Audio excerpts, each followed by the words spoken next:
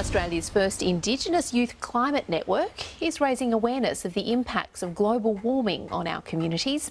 The group, known as SEED, recently undertook a road trip from far north Queensland to Brisbane to share their vision and to collect stories from our mob who are witnessing the effects of climate change. We are SEED, a national network led by Aboriginal and Torres Strait Islander young people working to make climate justice a reality for our people.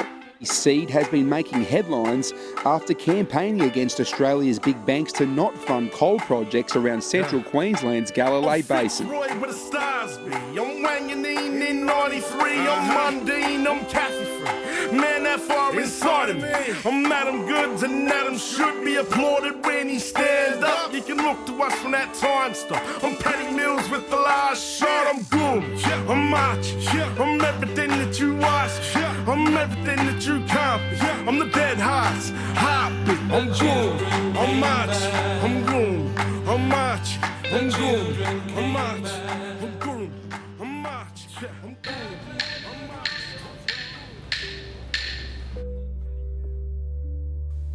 Climate change is one of the greatest threats facing humanity, and core to this crisis is the loss of country, cultures, and livelihoods of Indigenous peoples across the world. In Australia, Aboriginal and Torres Strait Islander people are at the forefront of the causes and impacts of climate change, and as young people, it's our generation with the most at stake. By building solutions that work towards justice for all people, the climate crisis presents an opportunity to create a more sustainable future.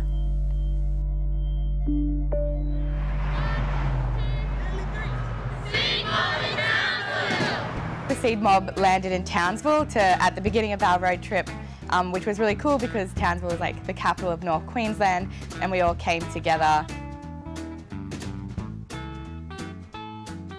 The second day of the road trip, we all boarded a ferry over to Magnetic Island to meet um, with another Seed member whose Magnetic Island is his country and we're going to talk to his family there to hear about how climate change is impacting life on the island.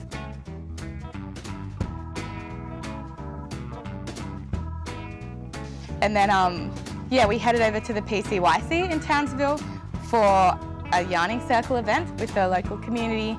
Um, yeah, and that event went really well. I was just blown away by all the beautiful stories that like the, the, seed mob on the trip, like the 20 of us, had to share about how climate change was personally affecting us. And it was just amazing to hear the stories and how it's motivated us to take action rather than um, disempowered us. And yeah, everyone in the seed mob is so incredible and so strong. Hi, I'm Vanessa and I'm an Aranda woman from Alice Springs, but um, I currently live in Canberra.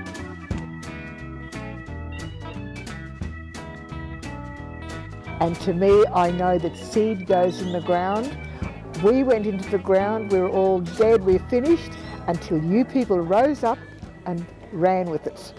Ran with the seed for the next generation. And to me, that's fantastic.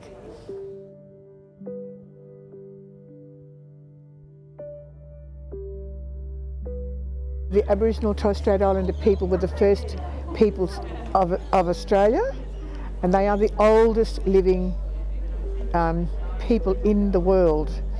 And um, it should be noticed that they took care of the land. They looked after the land. They knew when to burn, when not to burn. Um, they knew all these things. They, they weren't taught, they didn't read it out of a book. Um, and those, you people are still carrying that seed that went into the ground to be burnt and rose again. So that's how, how I see seed. Seed is something that's rising up to let other, other people know, other countries, other nationalities know that we have a movement here of young people, not just old people having a big whinge like I do sometimes.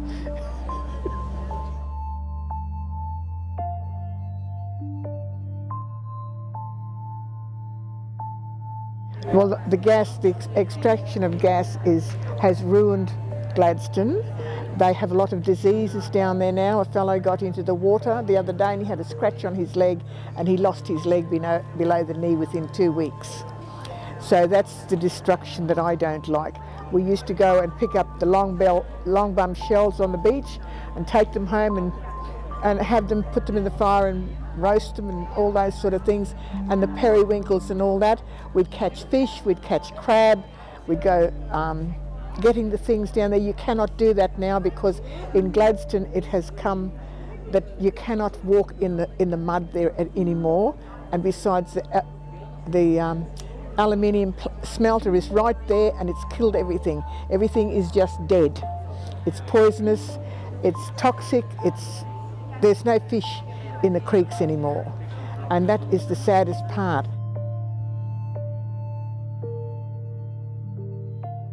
Thank you so much because we need you.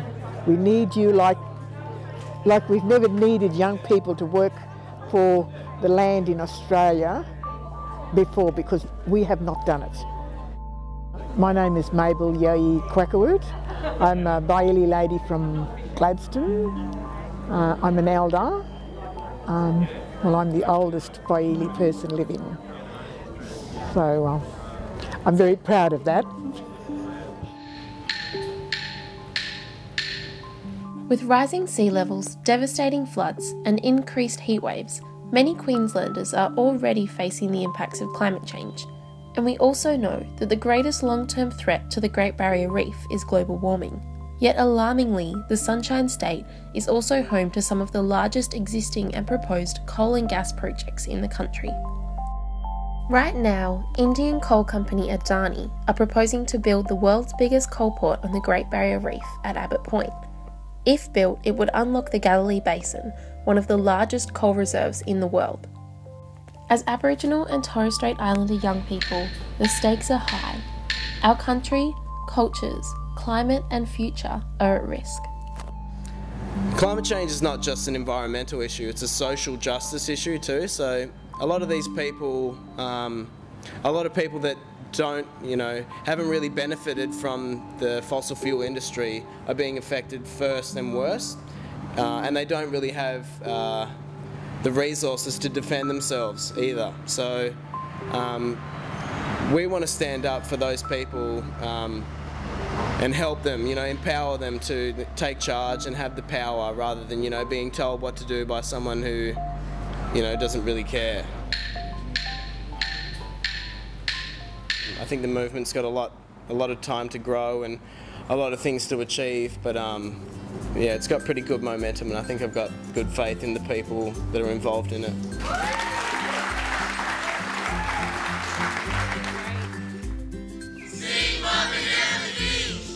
Airlie Beach was our second stop along um, our journey on the road trip.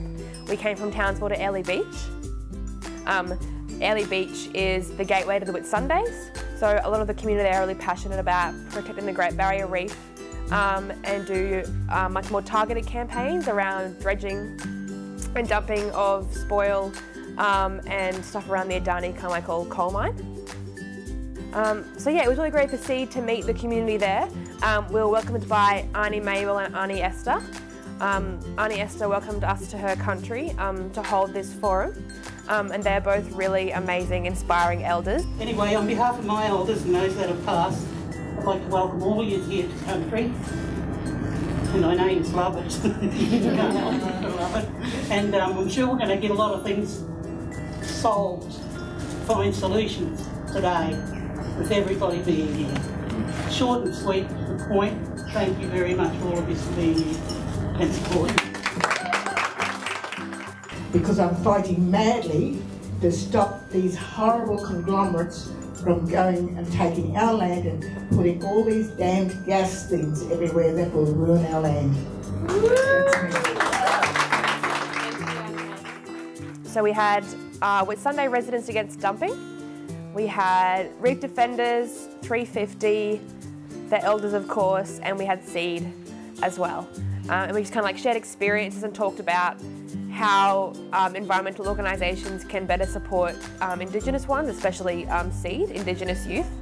Um, so it was a really positive experience. And then we had a rest day the next day where we got to kind of see a bit of the sights and it's such a beautiful place. Um, we, yeah, we went out to the beach, some people went to the lagoon, um, and it was just uh, a really great stop along the way. And it was our last stop on the coast before we headed inland, so it was, it was really nice. My name is Talara. Um, I'm one of three Queensland State Coordinators for SEED. Um, I live here in Brisbane. We are the first generation to the impacts of climate change, and we're the last generation who can do anything about it. Um, and Aboriginal and Torres Strait Islander youth um, need to be at the forefront of this fight. It's our duty to protect country and protect land. Um, and that's why we're all here working together. Um, and it's so good to have you all um, here supporting. So thank you.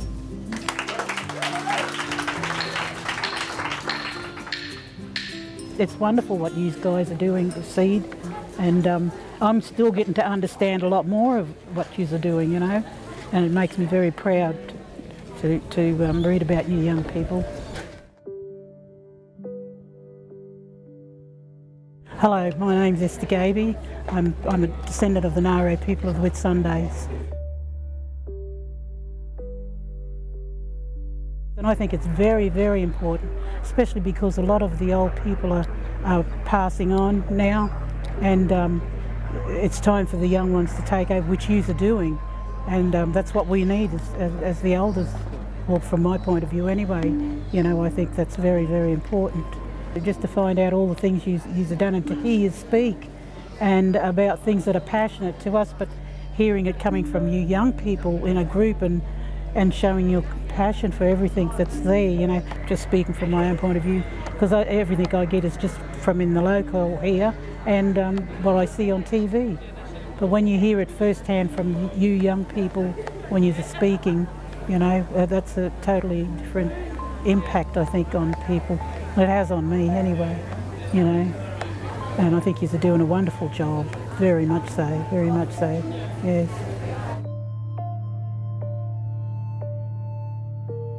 Well, the environmental issues are there, especially with the reef, especially with the reef, and the dredging, and the dredging too.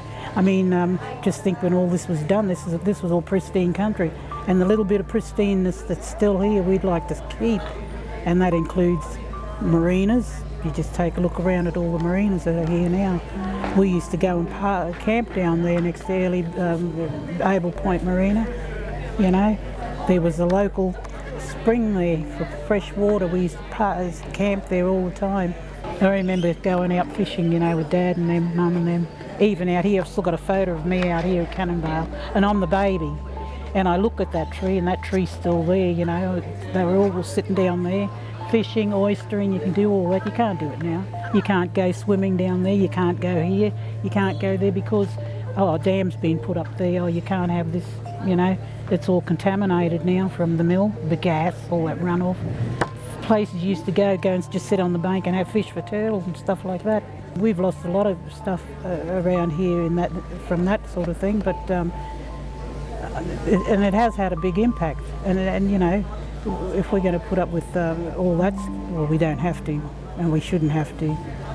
But um, it, just just by being around people like the RAD and all, all, these other communities, it just makes you more aware of things that are happening in your country, and that and that's something we all need to know, and how to deal with it, and what's the best way of dealing with it, you know, because it's not nice and it's not right, you know especially for the old people. I feel for my old people too, you know.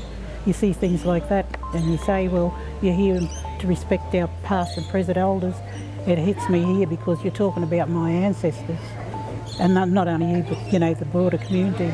And that's why I get fired up in here. Yeah, a lot of issues out there.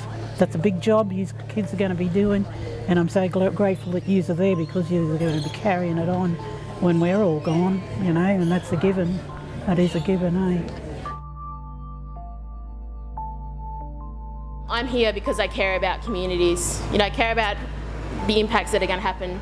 But for me, I grew up in my country. I got to see fully initiated elders, and I understand like I didn't. It wasn't until I moved to Brisbane that I understood the really strong connection to country and um, all the things that I was privileged to have. And for me, I really feel for a lot of the mob that you know, some people make decisions based on the fact that their country is going to be taken away from them. So they're being pragmatic, and I just, if this is where we talk about going beyond climate impacts. And our mob should not have to sign agreements with any government or any mining company if they don't want their land destroyed. That in itself, the seed itself, uh, it's a symbol of growth. I think you know, if, if uh, nurtured, watered, fed, uh, looked after, taken care, you know. Our people have been doing it for thousands of years, you know. That, uh, that recycling in Aboriginal culture, nothing new to our people.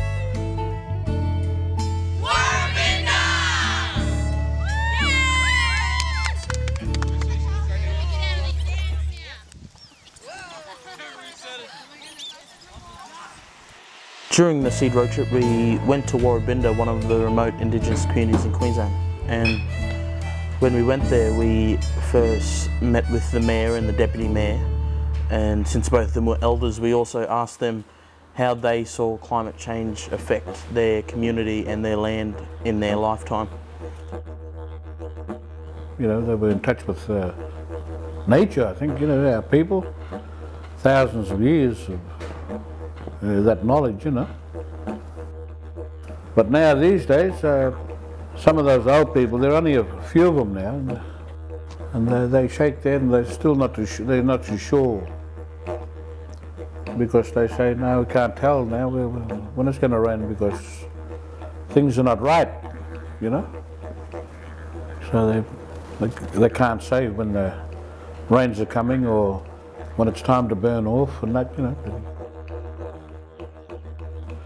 it's best that they look after country as long as they can because I think uh, in, in, certain places there's the mines are overruling some of the decisions about what our people have done.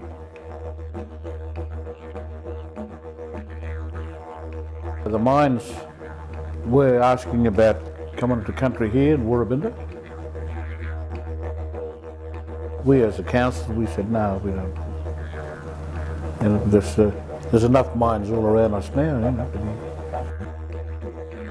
by saying, you know, that you know, we're taking ownership of our own, you know, country and uh, our community. Even though this community is uh, made up of over 50 different tribes, it's happened, you know. And I've been told now they just go in and scar the land. So and uh, to Aboriginal culture, you know, it's like uh, the land is our mother. You don't do that. Just uh, once that damage, all the money in the world can never get that back.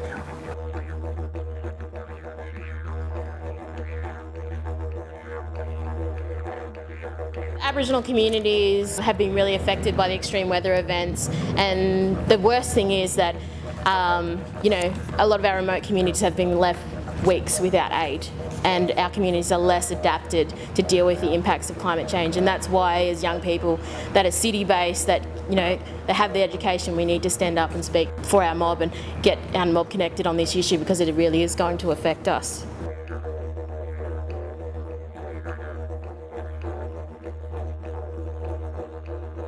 So the Bundy event couldn't come fast enough. We got there finally after the big drive from Woorabinda and we had an amazing welcome to country from Uncle Merv Johnson, um, a traditional owner from the Garangarang land, um, as well as his um, dancers.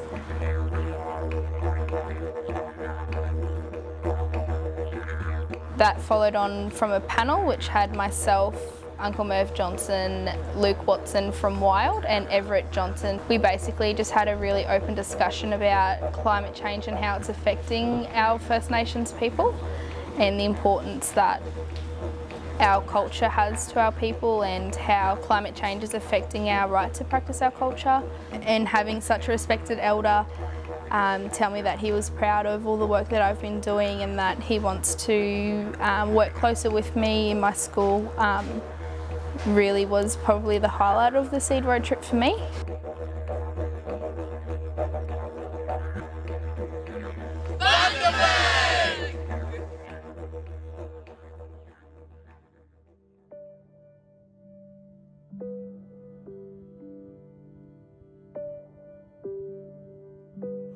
And since that day, I've really dedicated myself to the issue of climate change.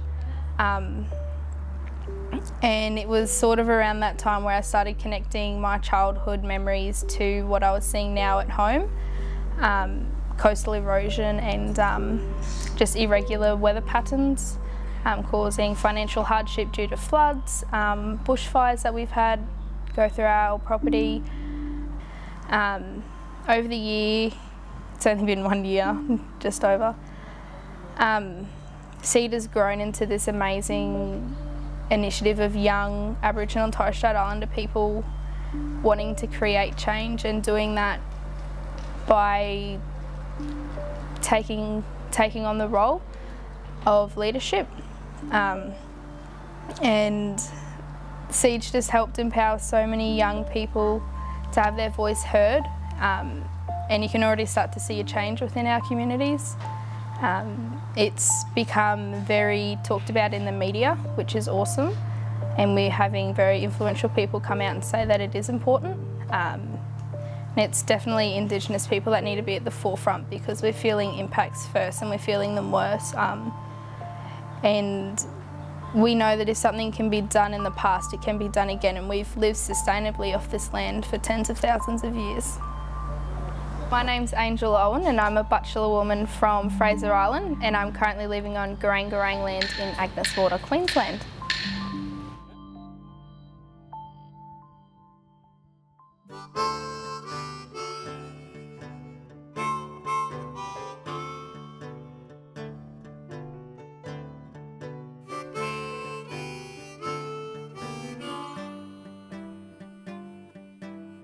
One of the stories for me out of the road trip that stood out was uh, was Cherbourg, um, and so we were lucky enough to go and visit something called the Ration Shed, and um, basically Cherbourg was a mission where a lot of uh, a lot of different people from different nations were sort of brought together and lumped in one area, and uh, these are people that you know didn't necessarily get along with each other, so you know they were warring nations and and other nations there too. So it was like a big sort of, you know, mixed up mess really. Um, but they were forced to stay there, so you know they had to live off, you know, what they could. Um, and the ration shed was where um, people were given, you know, supplies to last them the week, which is, you know, probably not really enough to survive the week. You know, like a couple of scoops um, of flour, tea, and sugar, and and just basic supplies really. And uh, these things came out of Aboriginal wages that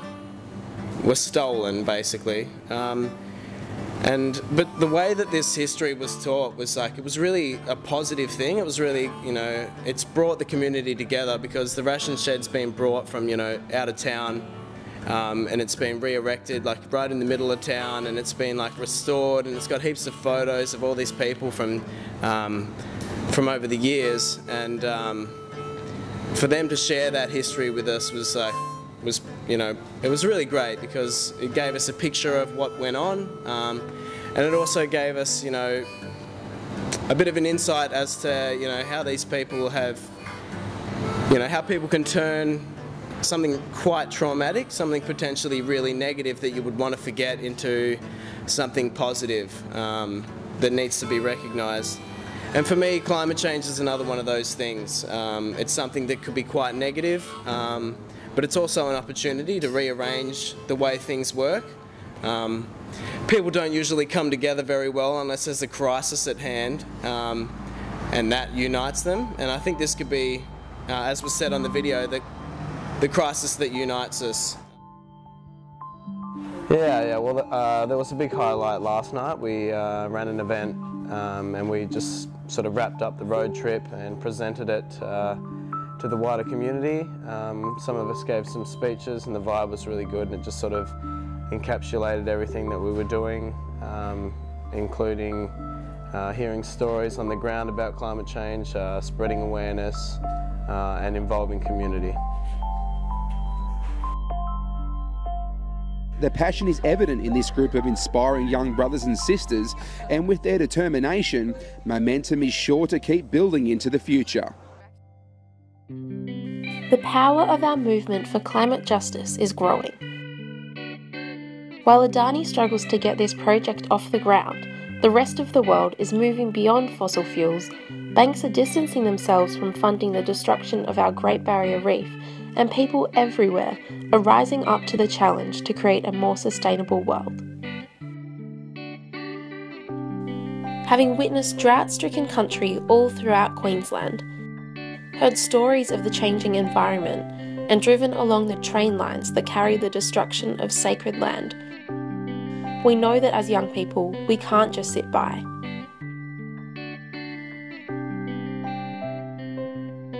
Because it should be Aboriginal and Torres Strait Islander people. It should be Indigenous people from all around the world leading this movement. We have lived sustainably for 60,000 years. It's an unbroken legacy of the most successful sustainability that this world has ever known. It's an unbroken chain that I refuse to be the broken link in. This should be something that is taken seriously, because it is people's livelihoods at stake here. It is our livelihoods at stake.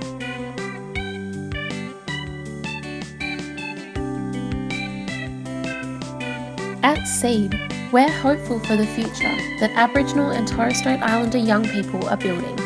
The future that is backed by our aunties and uncles, brothers and sisters, cousins and friends who are joining the call for climate justice. Our people, for once, actually have the tools and the teachings to lead the way into the future, out of this climate crisis. Our movement is growing, but it's up to us. Sign up to seedmob.org.au and be a part of making climate justice a reality for our people.